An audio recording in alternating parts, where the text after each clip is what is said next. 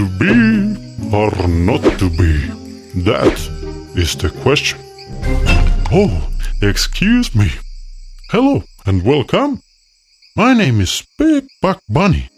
Indeed, you might know me from such films as Big Buck Bunny. Welcome to my home.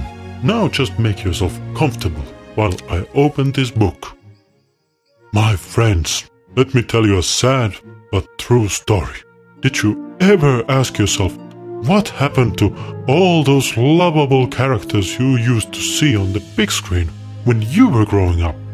No matter what they might have told you in the movies, they didn't really live happily ever after. In fact, and as awful as this may sound, many of them were locked away in the deep, dark dungeons of Mount Copyright, only to be guarded by the terrible beasts we call lawyers.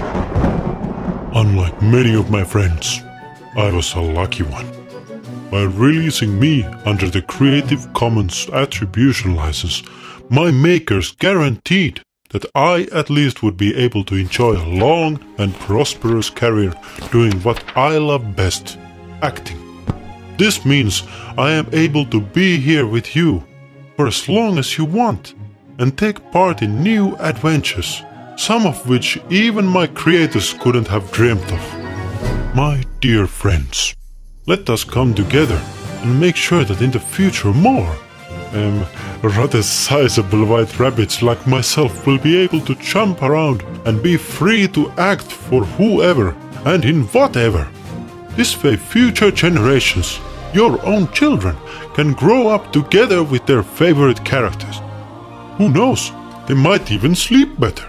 Thank you for listening. Now, where was I again? Ah, yes. Oh, you too, my Brutus.